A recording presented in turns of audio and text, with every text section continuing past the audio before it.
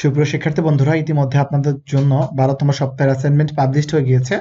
আমরা এই ভিডিওটিতে এসএসসি দু হাজার বাইশ অর্থাৎ দু হাজার বাইশ সালে যারা এসএসসি পরীক্ষায় অংশগ্রহণ করবেন, তাদের জন্য ব্যবসায় উদ্যোগ অ্যাসাইনমেন্টের যে একটি নমুনা উত্তরপত্র তথ্যবল নমুনা উত্তরপত্র, সেই উত্তরপত্র আমরা এই ভিডিওটিতে জানিয়ে দিব। তার আগে ছোট্ট করে একটু বলে নেই ডিসক্রিপশন বক্স এবং প্রথম কমেন্টেই কিন্তু অন্যান্য অ্যাসাইনমেন্টের উত্তর দেওয়া আছে, আপনারা চাইলে সেগুলো দেখে নিতে পারেন।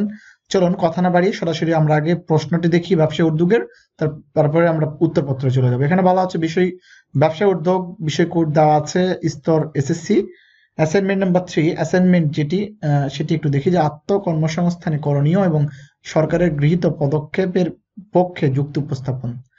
এখানে শিখন ফল, অর্থাৎ আপনারা এই অ্যাসাইনমেন্ট থেকে কি কি শিখতে পারবেন সেটি বর্ণনা করেছে। আমরা অ্যাসাইনমেন্টের যে নির্দেশনা বা স্টেজ সেটি একটু দেখি। যে প্রথম স্টেজে বলা হচ্ছে, আত্মকর্মসংস্থানের ধারণা, অর্থাৎ আপনাকে আত্মকর্মসংস্থানের ধারণা দিতে হবে। তারপর এখান থেকে যে আত্মকর্মসংস্থানে উদ্বুদ্ধকরণের করণীয় সেটির ব্যাখ্যা দিতে হবে। তারপর আত্মকর্মসংস্থানে প্রশিক্ষণের প্রয়োজনীয়তা সেটির ব্যাখ্যা দিতে হবে। তারপর আত্মকর্মসংস্থান প্রশিক্ষণ প্রতিষ্ঠানের সহায়তা, এটির ব্যাখ্যা দিতে হবে। তারপর এখান থেকে নির্দেশক দেওয়া আছে যে আত্মকর্মসংস্থানের ধারণা আত্মকর্মসংস্থানের উদ্বুদ্ধকরণের ধাপ আত্মকর্মসংস্থানের প্রশিক্ষণের জন্য প্রয়োজনীয়তা প্রশিক্ষণ প্রদানকারী প্রতিষ্ঠানের কার্যক্রম। এভাবে কিন্তু নির্দেশনাগুলো দেওয়া আছে। লাস্ট আরেকটা দেওয়া আছে যে ভাষা, ব্যাকরণ, সৃজনশীলতা উপস্থাপনা। অর্থাৎ ভাষা এবং ব্যাকরণ এবং সৃজনশীলতা এগুলোর দিকে লক্ষ্য রেখে কিন্তু অ্যাসাইনমেন্টটি ক্রিয়েট করতে হবে। পাশে মূল্যায়ন রুবিক্স দেওয়া আছে। মূল্যায়ন রুবিক্স নিয়ে আমরা কথা বলছি আমরা সরাসরি উত্তরপত্র চলে যাই। তার আগে ছোট্ট করে বলে নেই, আপনি যদি আমাদের চ্যানেল নতুন হয়ে থাকেন, তাহলে অবশ্যই অবশ্যই সাবস্ক্রাইব করবেন এবং একটা ভিডিও মেক করতে অনেক পরিশ্রমের প্রয়োজন হয়, সেই পরিশ্রমের জায়গা থেকে অবশ্যই একটি লাইক করবেন। চলো আমরা উত্তরপত্র দেখি।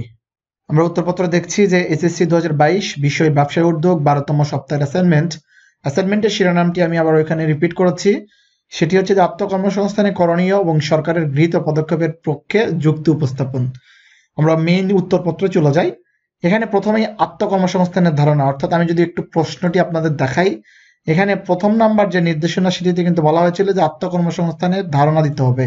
সেই আত্মকর্মসংস্থানের ধারণা কিন্তু আমরা এখানে নিয়ে এসেছি যে আত্ম অর্থ নিজ এবং নিজেই নিজের কর্মসংস্থান তৈরি করাকে আত্মকর্মসংস্থান বলে।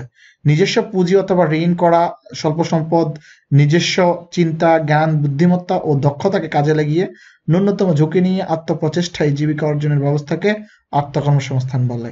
জীবিকা অর্জনের বিভিন্ন পেশার মধ্যে আত্মকর্মসংস্থান তারপরের পেজে দেখি যে আত্মকর্মসংস্থান একটি জনপ্রিয় পেশা। বিভিন্ন খুরসা বিক্রেতা, রেডিও ও টেলিভিশন মেরামত হাঁস মুরগি পালন, মৌমাছি চাষ ইত্যাদি আত্মকর্মসংস্থানের অন্তর্ভুক্ত। আমরা তার পরের পেজে চলে যাই। এখানে আত্মকর্মসংস্থানে উদ্বুদ্ধকরণে করণীয়। আমরা একটু প্রশ্নটি দেখে আসি যে, দ্বিতীয় নাম্বার যে নির্দেশনা ছিল অ্যাসাইনমেন্টের সেটিতে একটু দেখতেছি আমরা যে, আত্মকর্মসংস্থানে উদ্বুদ্ধকরণে করণীয়। এটি কিন্তু এই যে করণীয় কি কি, সেটি কিন্তু ব্যাখ্যা করতে বলা হচ্ছে। সেটি আমরা এখানে নিয়ে এসেছি যে আত্মকর্মসংস্থানে উদ্বুদ্ধকরণে করণীয় যে বর্তমান যুব ও তরুণ সমাজ ও আগামী প্রজন্মকে আত্মকর্মসংস্থানে উদ্বুদ্ধ করতে বিভিন্ন পদক্ষেপ গ্রহণ করা জরুরি। নিম্নে সেগুলি উল্লেখ করা হলো। আমরা সেগুলি একটু দেখি যে এক নম্বর হচ্ছে শিক্ষার্থীদের অনুপ্রাণিত করতে হবে এই বলে যে কোনো পেশা বা কাজই ছোট ও অপমানের নয়। দুই নম্বরে স্ব এলাকার আত্মকর্মসংস্থানের উপযুক্ত ক্ষেত্রগুলোর তালিকা প্রণয়ন করে বিদ্যালয় ও ইউনিয়ন পরিষদের দেয়ালে প্রচারের ব্যবস্থা করা যেতে পারে।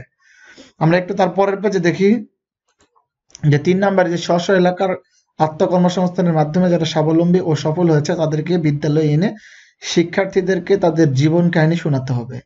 চার নম্বরে নবম ও দশম শ্রেণির শ্রেণি শিক্ষাক্রমে বৃত্তিমূলক কারিগরি ও কর্মমুখী শিক্ষাকে পর্যাপ্তভাবে অন্তর্ভুক্ত করতে হবে। তারপরে একটু আমরা দেখি যে পরের পেজে যে পাঁচ নম্বরে, যুব উন্নয়ন ব্যাংক ও শিক্ষা ব্যাংক প্রতিষ্ঠা করে সহজ শর্তে ঋণ দানের ব্যবস্থা করতে হবে। এছাড়া ব্যাংক সহ বিভিন্ন আর্থিক প্রতিষ্ঠান থেকে স্বল্প সুদে ঋণ দানের ব্যবস্থা করতে হবে। তারপরে একটু আমরা পরের পেজে চলে যাই যে এখানে যে আত্মকর্মসংস্থানের প্রশিক্ষণের প্রয়োজনীয়তা, আমরা একটু প্রশ্ন দেখে আসি যে তৃতীয় নাম্বার নির্দেশনাতে বলা হয়েছিল আত্মকর্মসংস্থানের প্রশিক্ষণের প্রয়োজনীয়তা। সেটি একটু আমরা এখানে ব্যাখ্যা করেছি যে যে কোনো কাজে দক্ষতা বৃদ্ধির জন্য প্রশিক্ষণ একান্ত প্রয়োজন। প্রশিক্ষণ কর্মদক্ষতা ও যোগ্যতা বৃদ্ধি করে। নিম্নে আত্মকর্মসংস্থানে প্রশিক্ষণের প্রয়োজনীয়তা ব্যাখ্যা করা হলো। সেইগুলো একটু আমরা দেখি এখানে। যে আত্মকর্মসংস্থানের যে ব্যাখ্যা পরের পেজে আমরা চলে যাই। যে এক নম্বর ব্যাখ্যা হচ্ছে যে কর্মীর দক্ষতা বৃদ্ধি। প্রশিক্ষণ কর্মীর দক্ষতা, কর্মদক্ষতা বৃদ্ধি করে তাই নতুন পুরাতন সকল কর্মীর জন্য প্রশিক্ষণ দেওয়ার প্রয়োজন প্রয়োজন হয়। দুই নম্বরে গানের পরিধি বৃদ্ধি। প্রশিক্ষণের মাধ্যমে নতুন নতুন বিষয়ের গান লাভ ধারণা লাভ করা যায় এবং ঊর্ধ্বতনের সান্নিধ্যে এসে অনেক কিছুই জানতে পারে। আমরা একটু তারপরের পেজে দেখি যে তিন নম্বরে সম্প- সম্পদের সদ্- সদ্ব্যবহার। প্রশিক্ষণের মাধ্যমে কর্মীদের কর্মদক্ষতা বেড়ে যায়, ফলে উদ্যোক্তা বা কর্মী কর্তৃক প্রতিষ্ঠানের জন্য যন্ত্রপাতি যন্ত্রপাতি এবং যন্ত্রপাতি এখানে বানানটা একটু মিস্টেক আছে। সাজ সরঞ্জাম ও অন্যান্য সম্পদের উৎকৃষ্ট ব্যবহার কর, ব্যবহার সম্ভব হয়। চার নম্বরে খাপ খাওয়ানো সহজ প্রশিক্ষণের মাধ্যমে নতুন জ্ঞান ও কলাকৌশল জানার ফলে সহজেই পরিবর্তিত পরিস্থিতিতে নিজেকে খাপ খাওয়াতে পারে।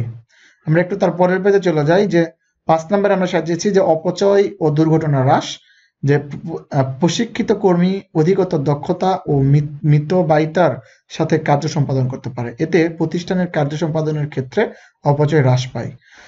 আমরা তারপরে প্রশিক্ষণ প্রদানকারী প্রতিষ্ঠানের কার্যক্রম দেখব। তার আগে আমরা একটু যে যে লাস্ট যে নির্দেশনা সেটা একটু দেখি যে আত্মকর্মসংস্থানে প্রশিক্ষণের প্রতিষ্ঠানের সহায়তা সেটি একটু আমরা দেখি, এখানে ব্যাখ্যা করেছি। যে সমাজ ও দেশকে উদ্যোক্তার সংখ্যা, যে সমাজ বা দেশে উদ্যোক্তার সংখ্যা যত বেশি, সে সমাজ বা দেশ অর্থনৈতিকভাবে তত উন্নত। তারপরে আমরা পরের পেজে দেখি যে প্রত্যেক দেশেই জনগণকে বিভিন্ন কাজে স্বাবলম্বী করার জন্য কিছু প্রতিষ্ঠান গুরুত্বপূর্ণ ভূমিকা পালন করে থাকে। নিম্নে এগুলোর কার্যক্রম ব্যাখ্যা করা হলো। আমরা সেগুলোর একটু কার্যক্রম দেখি যে এক নম্বর যুব প্রশিক্ষণ কেন্দ্র, একটি যুব ও ক্রীড়া মন্ত্রণালয় কর্তৃক প্রশিক্ষিত প্রশিক্ষণ কেন্দ্র দেশের প্রতিটি থানায় এর কার্যালয় রয়েছে। এ সকল কেন্দ্রের মাধ্যমে বেকার যুবক, যুবতীদেরকে বিভিন্ন পেশায় প্রশিক্ষণ দেওয়া হয়। যেমন হাঁস মুরগি, খামার তৈরি, মৎস্য চাষ, ব্লক, বাটিকের কাজ সবজি বাগান, নার্সারি করা, সেলাইয়ের কাজ কুটির শিল্পের কাজ, কম্পিউটার চালানো চালানো প্রভৃতি।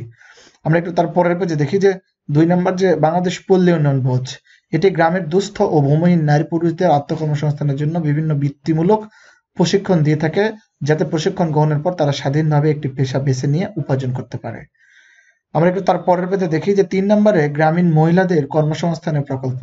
এ প্রকল্পের মাধ্যমে পল্লী অঞ্চলের মহিলাদেরকে বিভিন্ন পেশায় প্রশিক্ষণ দেওয়া হয় এবং প্রশিক্ষণ শেষে তাদের মধ্যে ঋণ বিতরণ করা হয়। শুধু প্রশিক্ষণ প্রাপ্তরাই ঋণ পাওয়ার যোগ্য বলে বিবেচিত হয়।